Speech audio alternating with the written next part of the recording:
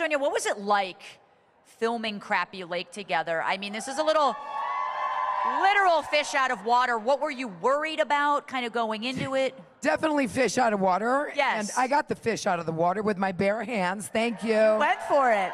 Sonja was not catching that fish. That is for sure not. And I wasn't eating testicles. Yeah, I had to do all the testicle lifting, really. Not that day. Sonja. yeah, and um, it was great. We had a great time together. I mean, the townspeople were fantastic. Uh, the Benton Motel. You say townspeople? Yes. The village people sound better. No, the townspeople. I love the people from that town. They're the sweetest. They're building an addition on the It's motel amazing. now. Um, it's sold out through next year. The motel. Wow. So Has- very I- exciting. I have a question. Sonja, have you kept in touch with the man that you met at the bar? Yes, the problem is if I text you, you need to be there in 10 minutes, right? This guy drives his truck all the way from Florida anywhere, and he always brings his dog. Oh. So I was like, okay. I thought know, he was from Louisiana. he does not come to New York. He does not fly. Oh. Who can do that? I mean, I'll do almost anything, but I'm not going to do somebody that doesn't fly. Tres, Tres Amigas, would you stay in their hotel? Would you stay in Luann and Sonja's uh, motel? Would Oh, in the motel crap- room? Yeah, that was that was a small room for we filmed for six weeks that show, so we were there quite a long time, and um, but you get used to it. You know what I mean? It's like It's kind of like when- Tamra shook her head no. Yeah, it's kind of like prison. Kind of yeah. like prison, you get used to it after a while? You do get used to living out of a suitcase, actually, and I've been doing that for years now. so. Would you three go to Crappie Lake? Would you catch a catfish out of I'm the... from Illinois, so I'll go. Yeah. Yeah. I I'm kind a of want to see it. I'm a little bit scruffy. I'd go. I noticed that Shannon Beador is a little silent over there. Well, I just, I would go, but I would not be involved with a testicle or a fish. No testicles or fish for Shannon.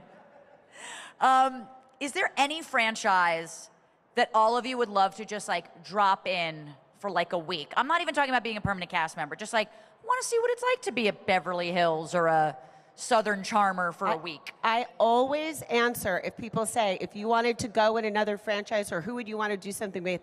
I say Sonja Morgan because she's a kick in the pants. So if I could ever go to the original Real Housewives of New York, I think that would be. Hell yes. We love you We love too, you too. Shannon. I love this, Vicki. I, I want to go to Miami. Oh, you oh, would fit in I think so Miami well. is so sexy. I love the boats and all the water and the people and the culture. I want to go to Miami. Tam Tam. I'm going to New Jersey Yeah. because those girls know how to fight. I, it's blood over there. I know. I'll fit right in. You'll fit right in perfectly. Luann, Sonja, where are you guys dropping into? I would go down to uh, Southern Charm. I'm very good friends with Patricia Altschul, way before we were married. So I always like going down there. And then I want to see what those guys are up to.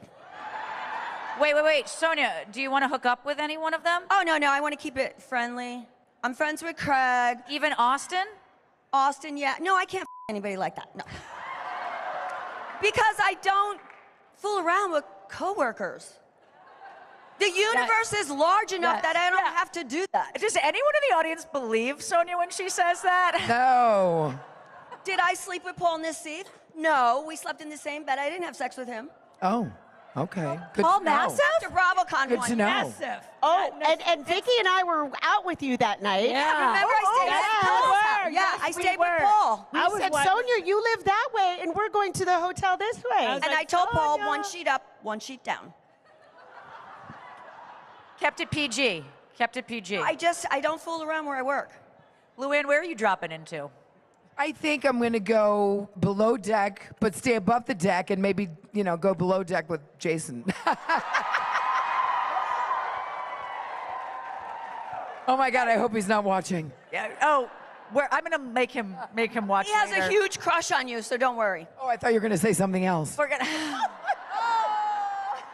I knew this panel was gonna pop off at like 10 a.m.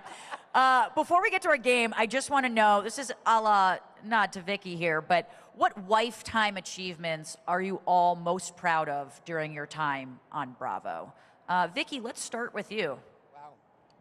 Well, when I started filming, and we had no idea it was going to be this. right. know, 18 years later. So I'm just proud of, you know, every year I gave up my all. uh, You know, whether it was a good year or a bad year, you saw my tears, you saw my laughter, you saw my stupid falling, getting hit in the head with a football. Like it- Tamra I was would have us there. do- But it just, I, I'm proud of every year. It was just seeing my life evolve into where it's at now. Who would have ever thought that we'd be here? So I want to thank you all. Thank you all.